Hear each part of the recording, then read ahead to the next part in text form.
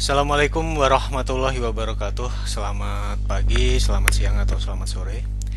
Hari ini kita akan masuk ke kuliah minggu ke-6 ya, Yang berjudul, kalau kita lihat di sini Simulasi kejadian diskrit Di mana kasus yang kita hadapi di sini adalah kasus untuk single server ya Atau server tunggal. Nah kemudian eh, di sini kita akan masuk pertama dengan konsep, yang kedua dengan teori, ya. Nah, kemudian tapi yang uh, supaya kalau kita review lagi begitu ya. Waktu itu kan kita sudah belajar mengenai bagaimana membangkitkan bilangan acak ya atau kita sebut sebagai random number. Kemudian dari sini Anda sudah belajar bagaimana mensimulasikannya menggunakan metode Monte Carlo. Perlu diingat ini adalah kasus di mana simulasinya tersebut jelas ya karena ada random number ya ini otomatis membangkitkan random variat juga ya. Karena dia uh, ada random number dan random variat Monte Carlo yang kita pelajari di uh, kuliah minggu sebelumnya pasti dia merupakan simulasi yang sifatnya probabilistik ya. Tetapi kalau kita lihat dia sifatnya statik. Seperti yang saya sampaikan statik dalam artian di sini kita hanya bisa mengukur dari ujungnya T0 begitu sampai ke TN. Kita tidak bisa mengevaluasi kejadian per waktu yang ada di rentang T0 sampai dengan TN ini. Nah, berbeda dengan yang ada sekarang. Sekarang nanti kita akan belajar simulasi yang dia juga probabilistik tapi dia sifatnya dinamik ya. Karena kita dinamik, maka ini bisa kita akomodasi mengevaluasi di setiap uh, elemen waktunya tersebut. Nah, itu yang mau kita ajarkan bersama-sama. Nah, kemudian yang kedua, di sini supaya tidak rancu ya, saya hendak memberikan satu hal yang lain begitu ya. Kalau Anda lihat ini kan namanya adalah discrete event simulation begitu ya. Orang sering me, apa tuh namanya menyingkat menjadi DES ya. Jadi discrete event simulation ini adalah DES. Tapi DES yang di sini adalah DES yang dikerjakan secara heuristik.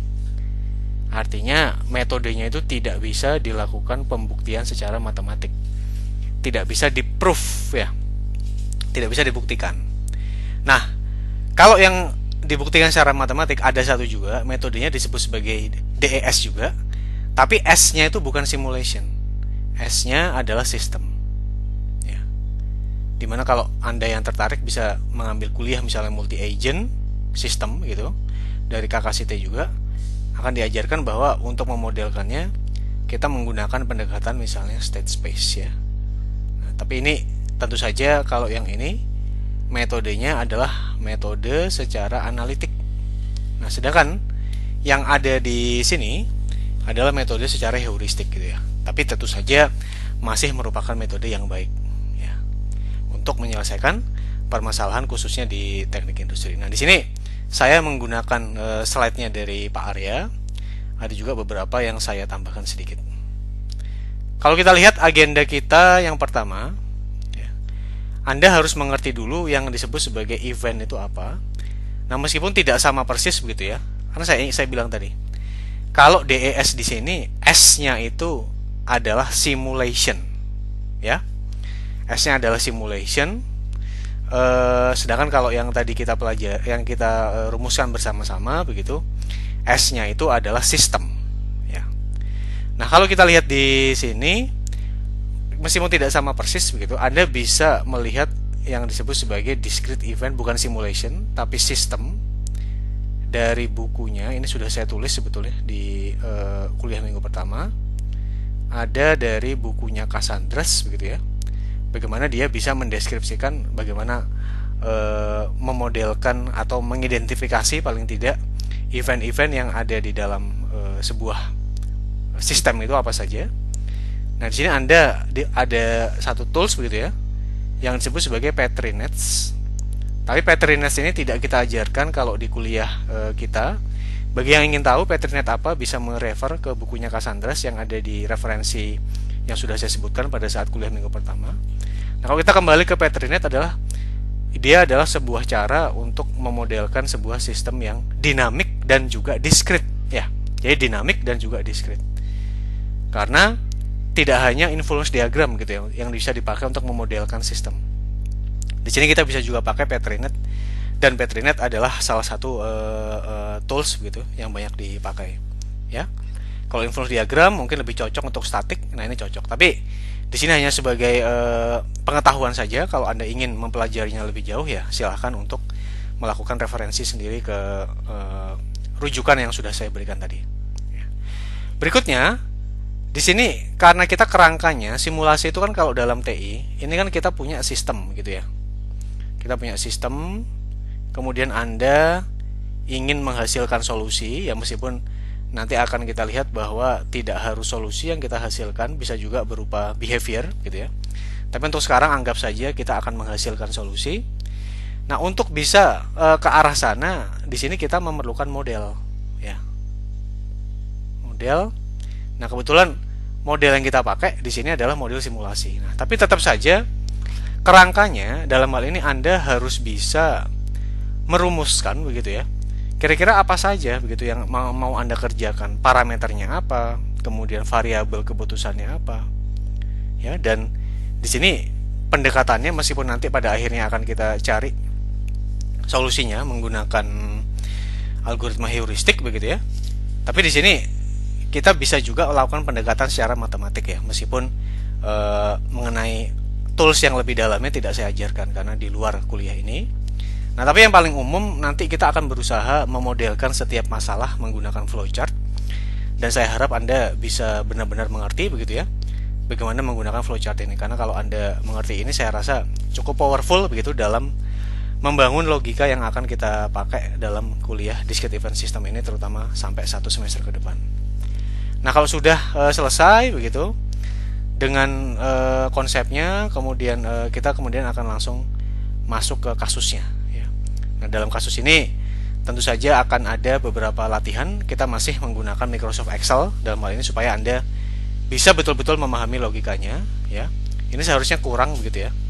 Ada satu subbab lagi yang disebut sebagai propose case ya. Yang kedua adalah bagaimana kalau sistemnya tersebut kita modifikasi apa dampaknya terhadap performansinya. Oke. Nah, masalah variabel keputusan dan performansi sengaja tidak saya tuliskan di slide itu menjadi bagian bagi Anda ya supaya Anda betul-betul menyimak video ini dan mengerti. Jangan lupa selama menyimak video ini Anda bisa melakukan pencatatan begitu ya. Sehingga pada saat uh, sudah masuk sesi tanya jawab Anda langsung ngerti kira-kira mana bagian yang perlu Anda konfirmasi lagi ke saya. Baik, kita masuk ke bagian yang pertama. Ini adalah konsep dari event ya. Event di sini tidak lain kita berbicara masalah kejadian, ya.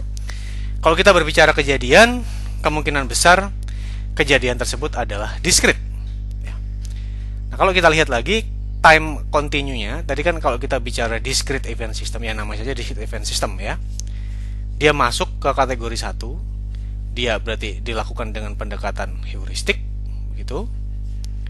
Kemudian kategori 2 dia dilakukan dengan uh, apa tuh namanya? Di sini uh, bukan bukan bukan pendekatan tapi dia mengakomodasi aspek yang probabilistik. Karena nanti anda akan mengakomodasi begitu ya hal-hal yang sifatnya random begitu kemudian yang ketiga kita akan mengakomodasi dia sifatnya dinamik ya. Dan yang terakhir begitu kalau kita lihat dia adalah discrete ya. nah semuanya bergantung kepada kejadiannya Nah, discrete event simulation ini, begitu pula discrete event system sebetulnya sangat sesuai, gitu ya. Kalau misalnya kita kerjakan untuk permasalahan-permasalahan yang ada di bidang teknik industri. Karena kembali kalau Anda baca bukunya Cassandras begitu ya. Di situ disampaikan bahwa banyak uh, sistem gitu ya atau banyak fenomena dalam nature atau dalam fenomena alam itu memang secara harfiah atau dari sananya sudah mengikuti kaidah-kaidah evolusi secara diskret ya. Evolusi itu berarti berubah seiring berjalannya waktu. Oke, ini ada sebuah ilustrasi. Ya. Ada pelanggan, dia datang ke ATM dengan waktu antar kedatangan selama 3 menit. Mengenai mengapa di sini waktu antar kedatangan bukan waktu e, kedatangan mestinya Anda bisa belajar gitu ya. Cuma saya ulang lagi. Kalau kita lihat di sini, misalnya kita bandingkan, ini sistem A ya. Ini dia datang di waktu sekian. Pelanggan pertama, kemudian pelanggan kedua, pelanggan ketiga, pelanggan keempat dan pelanggan kelima, ya. Jadi kalau kita lihat kita punya ini adalah 0 ya, ini tak hingga plus tak hingga dan di sini adalah grafik dari waktu. Kemudian adalah sistem B di mana juga ada lima pelanggan ya. Ini satu, dua, tiga, empat, lima. Oke. Nah, secara kasat mata Anda bisa bilang bahwa sistem B pasti lebih padat begitu daripada sistem A. Karena kenapa? Pelanggannya datangnya mepet-mepet. Nah, pelanggan yang datangnya mepet-mepet itu tentu Anda terjemahkan sebagai yang di sini disebut kita sebut sebagai katakanlah WAK atau IAT ya dia adalah waktu antar kedatangan atau inter arrival times. Jadi, kalau Anda ingin mengecek apakah sebuah sistem itu e, pelanggannya datangnya seperti apa fenomenanya, bukan dari kapan dia datang. Tapi dari jarak kedatangan antara pelanggan satu dengan pelanggan yang satunya. Nah, singkat cerita, di sini sudah didapatkan bahwa pelanggannya tersebut akan datang begitu ya dengan waktu antar kedatangan sebesar 3 menit rata-ratanya ya. Yang mana dia berdistribusi eksponensial. Mengenai mengapa dia berdistribusi eksponensial itu sudah dijelaskan panjang lebar pada saat kuliah tentang random number dan juga random variate. Ya, artinya Anda harus melakukan beberapa proses pembuktian secara statistik. Nah, pelanggan yang datang tersebut akan datang ke ATM jadi di sini ada ATM. Kemudian ini tadi adalah pelanggan yang sudah pasti dia datangnya secara probabilistik ya. Dia berdistribusi eksponensial dengan rata-rata berapa? 3 menit ya, eksponensial 3. Dengan kapasitasnya tepat sama dengan satu. Nah, seperti itu. Kemudian dia dibilang bahwa pelanggannya tersebut akan menghabiskan rata-rata. Jadi kalau di sini dia ada waktu untuk datang, di sini dia juga ada waktu untuk uh, pelayanan gitu katakanlah ya di situ sebesar 2,4 menit. Baru kemudian dia pergi. Anda diminta untuk mensimulasikan sistemnya ini untuk 30 kedatangan pelanggan yang pertama. Nah bagaimana caranya? Di sini kita diminta untuk mensimulasikan diminta untuk menirukan ya itu sudah pasti. Tapi kalau kita kembali ke TI seperti yang sudah kita bahas ya ada baiknya kalau kita bisa menstrukturkan kira-kira permasalahannya itu seperti apa. Nah, kalau kita lihat di sini kita punya Anda harus punya katakanlah yang disebut sebagai decision variable. Apa yang bisa Anda putuskan dalam hal ini? Kalau kita berbicara misalnya Anda dari sudut pandang customer gitu ya. Kalau Anda datang ke sebuah ATM, kemudian ATM-nya tersebut sering penuh, pasti Anda tidak suka kan? sehingga Anda akan berusaha untuk mencari ATM yang lain. Nah, pasti hal-hal semacam itu juga mestinya sudah dipikirkan oleh orang yang punya ATM-nya. Dia juga tidak ingin e, berpindah ke ATM lain dalam hal ini mungkin bank lain. Nah, apa tapi kemudian yang bisa diputuskan oleh orang e, yang punya ATM tersebut? Mungkin kalau saya berpendapat begitu ya. Misalnya, ya, ATM sekarang performansinya sama dengan 8 existing gitu ya Bagaimana kalau ini saya naikkan performansinya menjadi 10? Nah, ini salah satu e, hal yang bisa saya utak-atik gitu. Bagaimana caranya? Ya, mungkin Anda mengganti mesin ATM-nya. Mungkin Anda mengganti provider ATM. Kalau sekarang kan ATM tidak harus dimiliki sendiri oleh banknya tersebut. Bisa saja Anda meminta pihak ketiga untuk e, mengelola ATM tersebut, ya. Satu hal begitu sehingga kalau saya tuliskan misalnya ini adalah kinerja atau mungkin kinerja agak rancu begitu ya. Saya tulis katakanlah ini kecepatan ATM di mana kecepatannya tentu saja kita identifikasi dengan 2,4 e, menit ini. Ya jadi kalau ini 2,4 gitu bagaimana kalau kecepatannya jadi satu setengah gitu. Ya tentu ada konsekuensinya ya kalau kita menaikkan begitu kecepatan ATM ya kemungkinan besar anda akan dikenakan biaya tambahan. Nah jadi itu adalah salah satu decision variable yang bisa kita pertimbangkan untuk permasalahan ATM ini. Ya Anda tahu apa yang bisa Anda utak-atik. Apa kemudian kalau kita lihat di sini? Kita sebut sebagai FT atau performance measure atau fungsi tujuan. Katakanlah kalau kita mau ukur ya misalnya waktu mengantri gitu ya. Itu kan biasanya yang membuat orang sebal. Atau katakanlah waktu operasi, artinya berapa lama dia memerlukan uh, eh, ATM tersebut. Kemudian Anda bertanyakan sudah ada Pak 2,4 menit ya, itu kan by design gitu ya. Bagaimana kalau kita simulasikan mungkin ada sedikit perbedaan dan sebagainya. Nah, apa saja parameternya? Parameter di sini jelas begitu ya. Parameternya di sini adalah waktu antar kedatangannya. Di mana di situ kita tuliskan waktu antar kedatangannya dia sebesar 3 menit. Nah, itu adalah salah satu metode begitu ya yang bisa dipakai untuk menstrukturkan masalah. Sehingga kita akan jelas begitu mengetahui kira-kira ya permasalahan ini apakah e, sesuai atau tidak begitu menggunakan pendekatan ini ya. Nah, ya kalau kita lihat lagi tadi kalau kita lihat lagi tadi bahwa yang kita barusan tulis di sini kita punya ya tentu saja kalau ini dalam OR begitu ya decision variable, fungsi tujuan dan parameter ini pasti Anda sudah hafal bahwa itu disebut sebagai komponen model, ya. Kalau kita punya tiga komponen model di sini, berarti kan kita mengarah ke sini. Oh, berarti saya punya beberapa alternatif nih. Misalnya saya sebut ini alternatif 0, existing begitu ya. Kalau saya sebut mu, tadi kalau misalnya saya punya ini mesin ATM gitu ya, supaya Anda mengerti notasinya. Biasanya kalau rate itu dalam antrian dilambangkan dengan uh, sigma eh bukan sigma lambda ya. Kemudian kalau uh, rate keluarnya yang berarti indikasinya adalah uh, ini ya yang mengarah ke jadi artinya dia berasal dari kecepatan pelayanan itu adalah mu oh ini alternatif pertama. Mu nolnya adalah 2,4 gitu ya kemudian kita lihat alternatif ke 0 existing maksudnya. Alternatif pertama Anda pilih mesin satu lagi. Ini adalah 1,8 ini kok ini biayanya katakanlah 2 juta gitu ya. Yang ini lebih mahal 3 juta. Ini kemudian adalah alternatif 3 alternatif 2 maksudnya. Alternatif 2 yang baru. Di situ kalau kita pilih misalnya MIU-nya atau kecepatan pelayanan sama dengan satu setengah tapi biayanya 4 juta mana yang perlu saya pilih nah itu artinya anda melakukan eksperimen untuk beberapa alternatif dan tentu saja nanti dalam simulasi dalam setiap eksperimen ini saya tidak cukup kalau hanya menggunakan satu kali replikasi.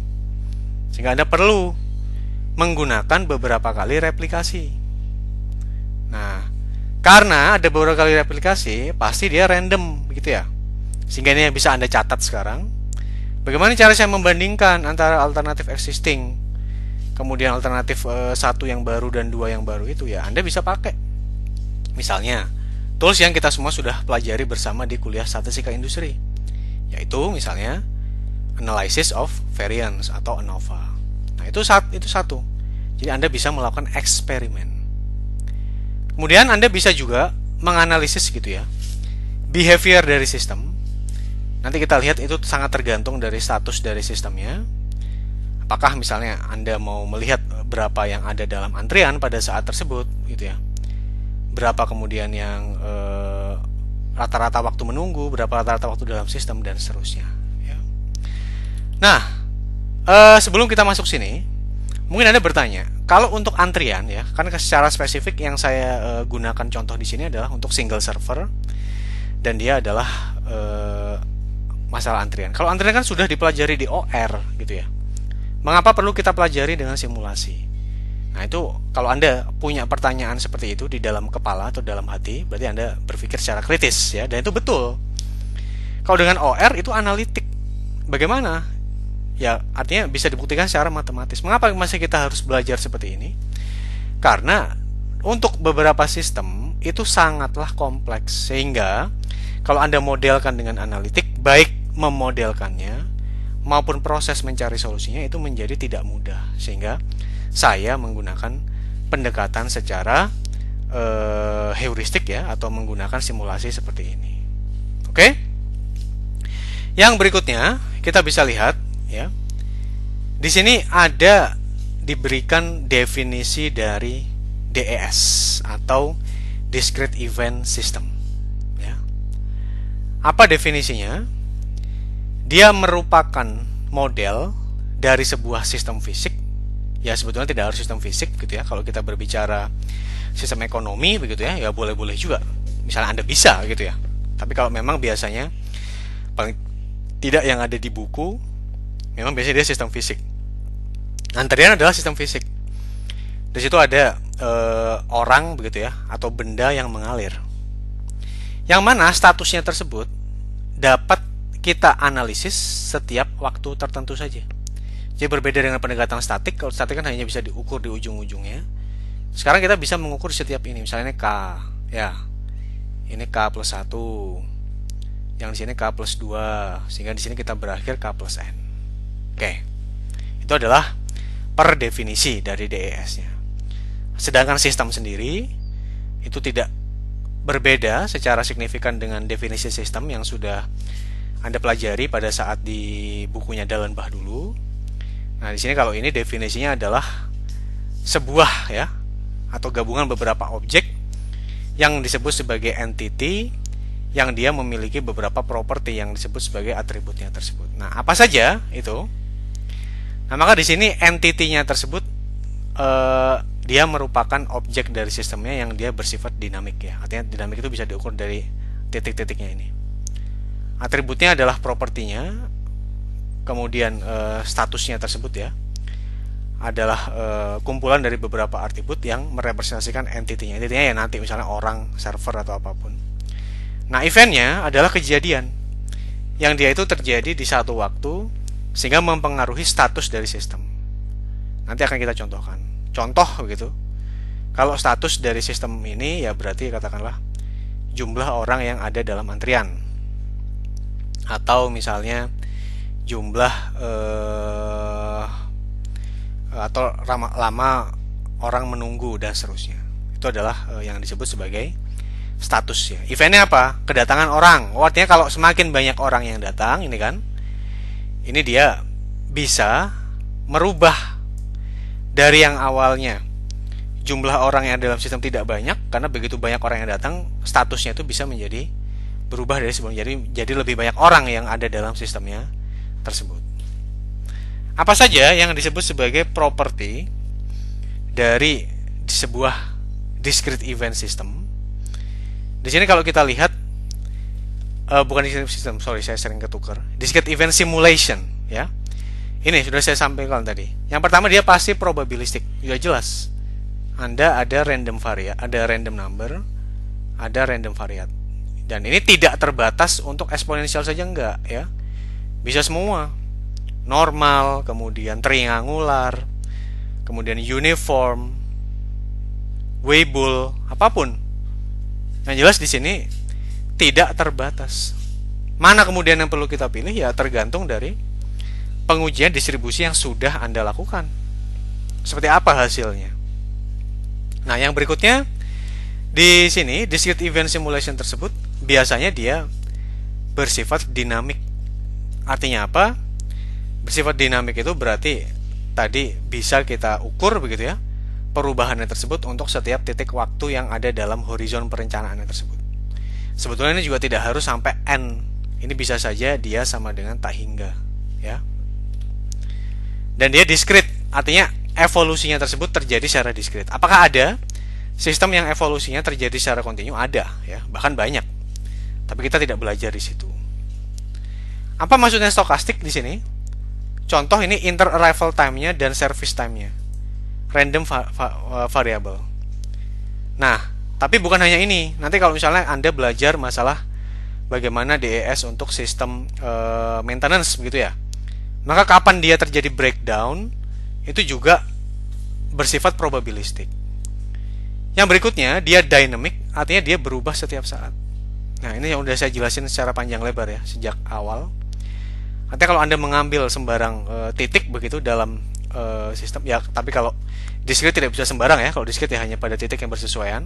Tapi tetap dia artinya ada di mana-mana gitu dalam satu horizon perencanaan ini itu bisa kita ukur ya dan dia bisa bergeser clock time-nya tersebut itu masalah dinamik dan discrete ya nah ini state variabelnya ini berubah at separate point of time yang nanti akan kita jalankan seperti apa.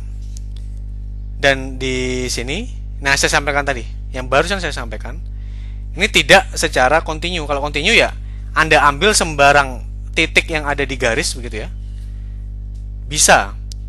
Tapi ini kan tidak. Kalau di sini satu satu titik misalnya ini k. Ini k plus satu. Ya. Ini k plus 2 dan seterusnya. Tuh yang dimaksud dia hanya terjadi di countable numbers pasti dia discrete. Nah sehingga ini sama waktunya tersebut berindikasi atau bersesuaian dengan counter time-nya tersebut. Nah ini adalah contoh untuk single server system yang sudah saya jelaskan sebelumnya. Di sini kalau kita lihat ini adalah ATM-nya yang tidak lain berarti kalau kita punya K besar gitu ya adalah kapasitas K besar itu kapasitas berarti dia adalah satu maka di sini dia adalah uh, pelanggan yang masuk ya tadi saya contohkan misalnya pelanggan yang masuk tadi dia lambda dan tadi dia berdistribusi eksponensial 3 menit. Nah, ini saya sampaikan, ini tidak harus distribusinya eksponensial. Boleh Weibull begitu, meskipun yang paling lazim begitu ya kalau untuk waktu antar kedatangan ya biasanya memang distribusi eksponensial. Kemudian kalau kita lihat yang ada di sini, kemudian dia keluar tadi rate-nya misalnya dengan menggunakan mu katakanlah dia berdistribusi eksponensial juga dengan eh salah ya tadi iya betul ya 2,4 Nah, tadi saya sampaikan contoh dari entity begitu. Misalnya adalah pelanggannya dan juga servernya. Server yang dalam hal ini kan tidak lain adalah ATM. Apa atribut yang ada di dalam uh, sistem simulasi kejadian diskrit ini? Oh, ternyata customernya dia memiliki atribut yaitu waktu antar kedatangan. Sedangkan begitu ya kalau kita lihat servernya ternyata juga memiliki atribut memiliki atribut yaitu service rate-nya yang dia menandakan server skill-nya meskipun kalau untuk ATM ini bukan disebut sebagai server skill ya kalau server skill itu kalau misalnya anda ngantri di restoran fast food gitu itu wajar ya karena yang memang ada di situ orang tapi kalau untuk ATM begitu saya rasa agak aneh kalau disebut sebagai server skill mungkin istilah seperti kapabilitas dari server itu lebih uh, tepat ya untuk kasus seperti ATM ini. Nah, yang berikutnya, kalau kita lihat lagi, uh, bagaimana kemudian Anda mengumpulkan data-data baik untuk inter arrival time maupun server skill ini ya Anda harus melakukan studi gitu ya. Anda harus uh, datang harus ngumpulin datanya rata-rata diambil rata-rata kemudian dites distribusinya dan seterusnya baru Anda bisa datang. Apa saja aktivitasnya? Aktivitasnya di sini ada kedatangan begitu ya dan juga ada kepergian. Tapi di sini dia masih belum sesuai dengan eventnya. Nanti akan kita lihat eventnya apa, kejadiannya. Nah statusnya ini kalau yang ada diukur di sini salah satunya yang bisa diusulkan begitu. Misalnya adalah jumlah pelanggan yang ada dalam sistem. Tapi tentu saja Anda bisa mengusulkan yang lain begitu ya. Misalnya katakanlah lama uh, lama orang mengantri ya lama orang menunggu dan seterusnya itu sangat tergantung dari uh, cara anda melakukan modeling untuk uh, sistem yang anda kaji tersebut ya ingat tidak ada benar salah uh, yang penting sudut pandang tersebut masuk akal nah ini adalah salah satu contoh begitu ya dari antrian untuk single server biasanya ini merupakan satu uh, hal begitu ya yang banyak dipakai untuk memodelkan kira-kira itu seperti apa uh, kondisi dari uh, antrian saya. Nah, kalau kita lihat di sini ya. Saya punya di sumbu X-nya, saya punya dia adalah waktu. Kemudian di sumbu Y-nya saya punya jumlah konsumen dalam sistem. Nah, kalau Anda teliti mengamati, Anda akan melihat bahwa jumlah konsumen di dalam sistem itu tidak lain tadi yang saya usulkan sebagai status ya. Kalau Anda ingin mengukur di setiap eventnya itu apa, ya yang lain gitu katakanlah lama waktu orang mengantri ya boleh saja. Tapi biasanya ini tapi ini cukup uh, satu hal yang cukup bagus ya dan cukup masuk akal untuk kita ukur sebagai status dari sistem.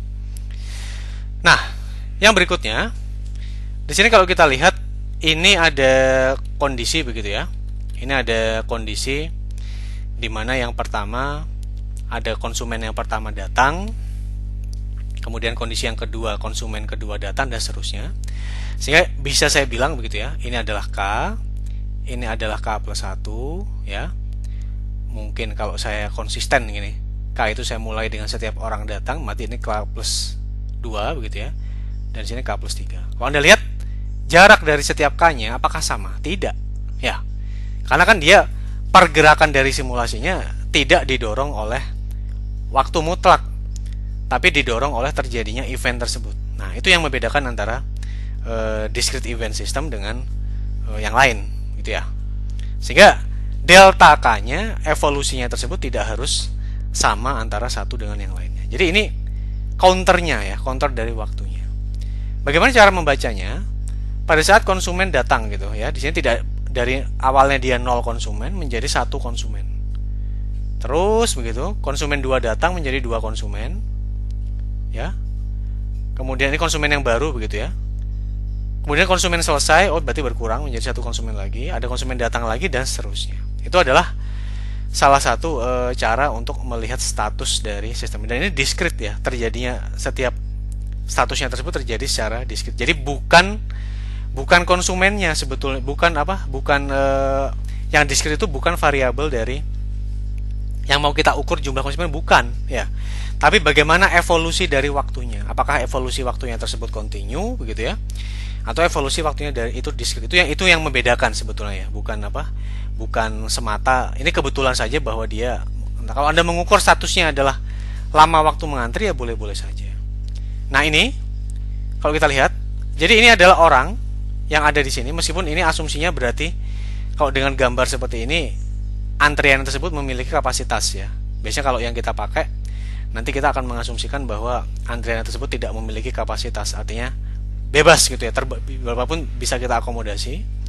Nah pada saat tersebut tepat yaitu ada satu e, konsumen yang sedang dilayani yaitu konsumen nomor 2 dan di sini konsumen nomor 3 sudah selesai. Nah itu kira-kira e, pemahaman dari sistem diskritnya nah apa saja kemudian eventnya? Nah ini kita boleh berargumen ya cuma kalau menurut saya ada tadi kan kalau yang sudah disampaikan yang disebut sebagai uh, aktivitas ya yang dilakukan kalau anda maksud saya yang ini.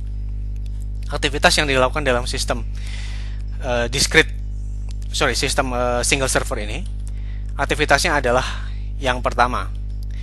Ini aktivitas pertama datang dan ini aktivitas yang kedua kita sebut sebagai selesai. Jangan lupa ada aktivitas 1A tidak ada kondisi-kondisi di mana kalau konsumen itu datang begitu ya, belum tentu akan langsung dilayani oleh server. Mengapa? Kalau ternyata servernya sibuk. Kalau dia sibuk kan artinya dia harus menunggu. Artinya dia datang di sini begitu ya. Ternyata ini kan waktu begitu ya. Ini alternatif ini aktivitas pertama satu ya. Dia tidak bisa langsung melakukan pelayanan di sini. Kalau ternyata servernya masih sibuk. Sehingga dia harus menunggu katakanlah di sini sampai dua baru dia bisa dilayani. Jadi ini adalah satu ya. Ini kejadian satu a. Kemudian yang ketiga baru dia selesai. Ini kejadian yang kedua ya. Yang sesuai dengan tanda di dalam kurung yang di atas. Nah dalam hal ini anda harus bisa kira-kira mengidentifikasi uh, kejadian yang ada di dalam sistem itu apa saja. Sehingga semuanya akan bisa terakomodasi. Kalau Anda tidak menyebutkan mulainya dia dilayani sebagai sebuah kejadian yang terpisah, menurut saya ada yang keliru. Karena ya, karena Anda mengasumsikan berarti pada saat dia datang pasti pada saat itu juga dia mulai dilayani padahal kan tidak ya. Dan sini itulah yang mencirikan. Nah, nanti kita akan lihat seiring kita kuliah di segmen yang berikutnya eventnya tersebut yang nanti akan kita modelkan. Baik secara matematis maupun kalau Anda menggunakan flowchart gitu ya misalnya. Atau katakanlah kalau nanti pada saat kita aplikasi dengan spreadsheet